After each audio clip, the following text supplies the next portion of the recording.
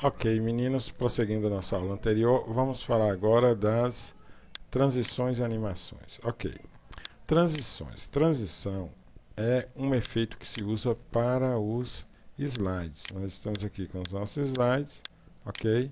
E vamos mexer com a transição deles. Para que fique mais claro isso, vamos aplicar aqui em Design um estilo ao nosso a nossa apresentação. Pode ser esse estilo, né? enfim. Vamos deixar esse estilo aí, ou um estilo, estilo como esse, pode ser. Qualquer estilo serve, desde que dê para a gente ver aqui o que vai interessar a gente, que são as transições. Repare, transição, quando você clica no menu transição, é, abre-se uma aba com todas as opções de transição, ok? Então vamos aqui usar, aplicar aleatoriamente uma transição para cada um dos slides. Tá? Vamos clicar aqui.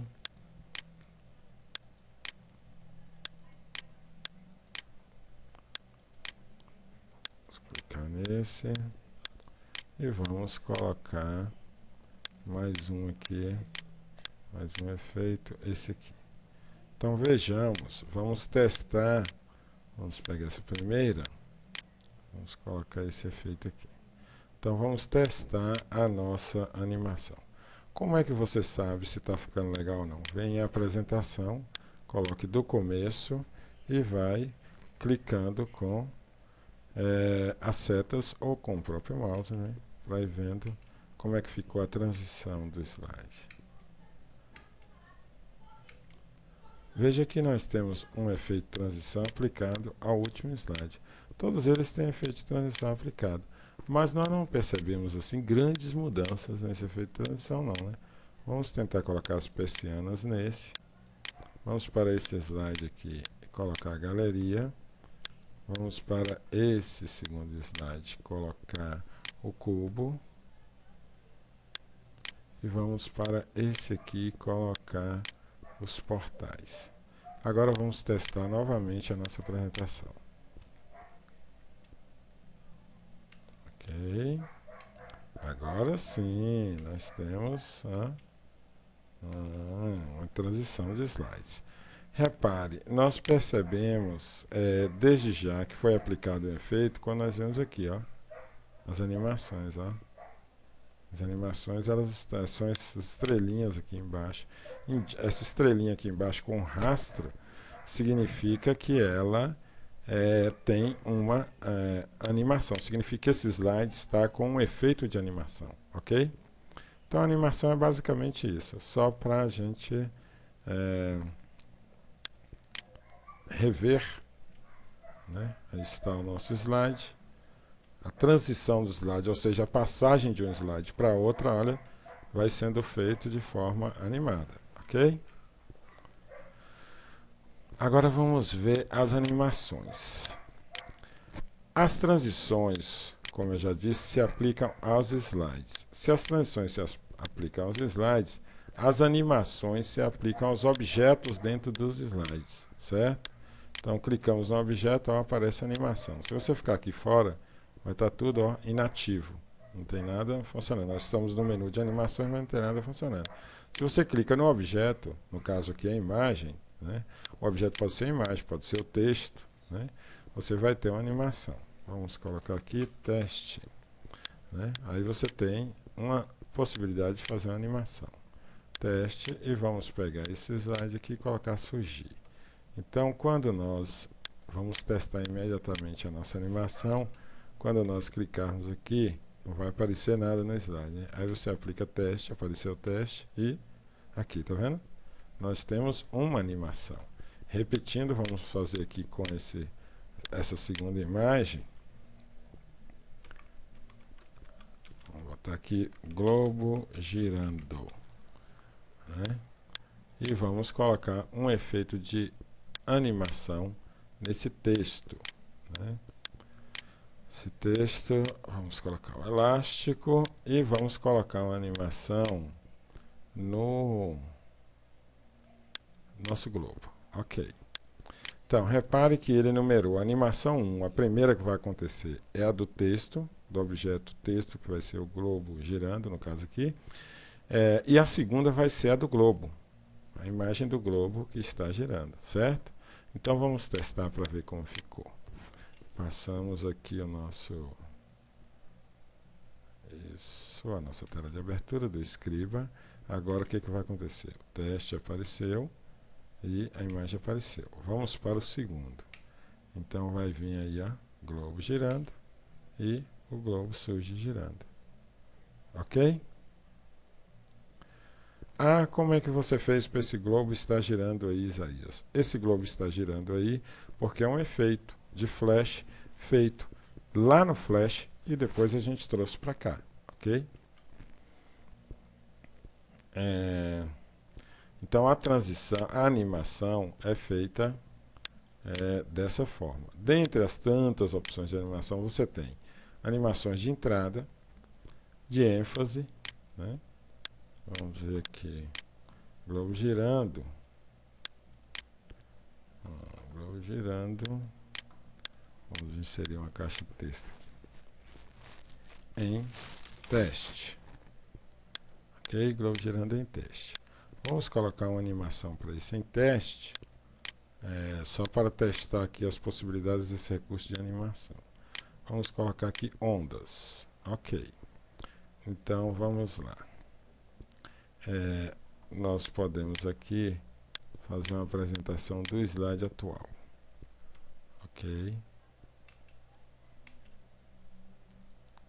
Reparem que, vamos voltar aqui, o em teste já ficou aí, ó em teste, globo girando. E aí aparece o globo girando, certo? E o em teste dá esse pulozinho. Por que isso? A sequência de animações que está colocada aqui, certo? Na sequência de animações nós temos globo girando como primeira animação. Vamos sair aqui e voltar para animações. Segunda animação, essa. Terceira, essa. Podemos, é, inclusive aqui no elástico, no, nas ondas, repare que é, há a possibilidade da gente direcionar a onda ó, e regular o tamanho dessa onda, certo? Ela pode ser grande e pode ser em várias direções. Né? Vamos pegar essa onda aqui, colocar nessa direção assim. Vamos ver o que acontece quando nós testamos assim apresentação do slide atual. Então nós colocamos aqui colocamos assim e é o que acontece com a onda né?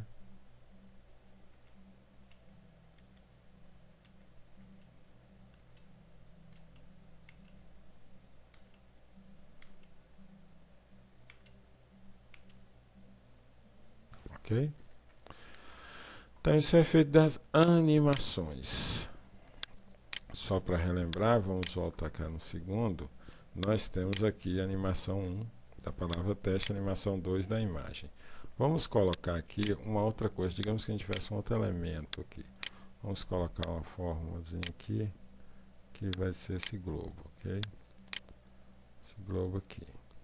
Globo, é, pode até botar um efeito nesse globo. Transparência bem grande nele. Certo? É, digamos que a gente queira que esse globo fique girando, né? Nós podemos, ó, fazer com que ele aumente o tamanho. Aumente e diminui o tamanho. É uma das alternativas que nós temos.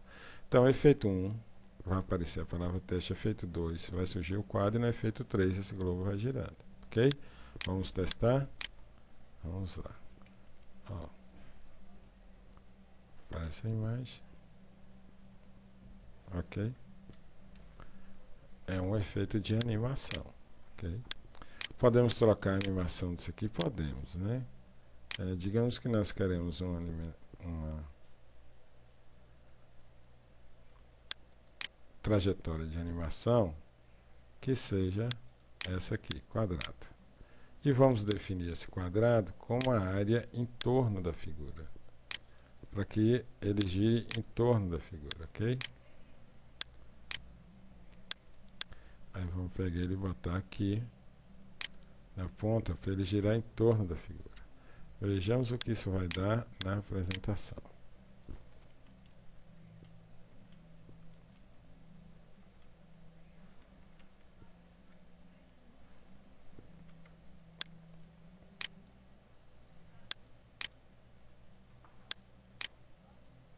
Voltemos para a animação, vamos colocar aqui. Então vejamos como vai funcionar.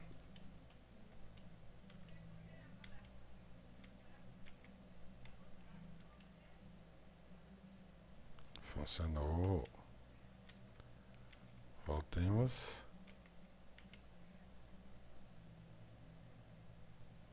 Certo? Eu poderia também fazer o seguinte, fazer essa imagem é, parecer uma, vamos dar aqui, quer ver? Uma, um grau de transparência, vejamos de, de preenchimento, que desse um grau, não, ainda não está o que a gente quer, vamos ver aqui, efeitos da forma, isso, suavizar bem essa forma, isso, agora vamos fazer, vamos aqui na animação, fazer o seguinte, mudar isso, fazer com que ela seja um giro em torno da imagem, como se fosse um feixe de luz sobre a imagem. Né? Então nós podemos colocar assim, assim. Então como vai ficar aqui a nossa apresentação? Veja. Teste, a imagem vai aparecer e ó, a luz vai girar em torno da imagem. Né? Certo? Claro que eu poderia fazer isso é, de forma bem transparente. De que forma seria isso, Isaías? Vamos ver aqui. Contorno e preenchimento. Sem preenchimento, não. Vamos pegar aqui um gradiente, um tom extremamente claro, mais gradiente. Botar um gradiente assim, bem... Tom levinho de gradiente é, aumentar bem a transparência desse gradiente e deixar assim, ó. Vai ficar legal, né? Vejamos se vai ficar legal.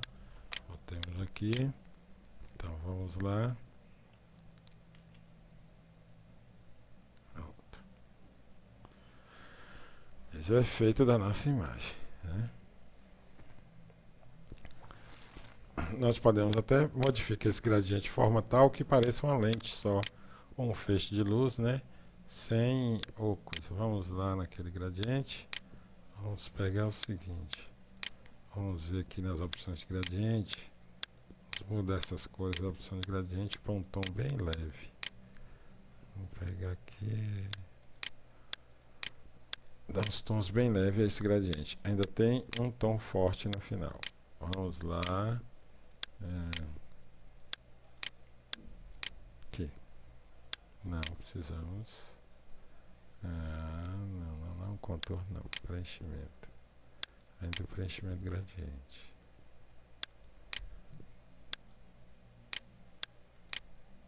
Cem por cento não é ideal porque a gente quer que tenha alguma alguma luminosidade. Assim tá bom. Pronto. Então aqui nós vamos na, na nossa slide atual ver como ficou o efeito do nosso gradiente sobre a imagem. Ó. Interessante, né? Vamos voltar.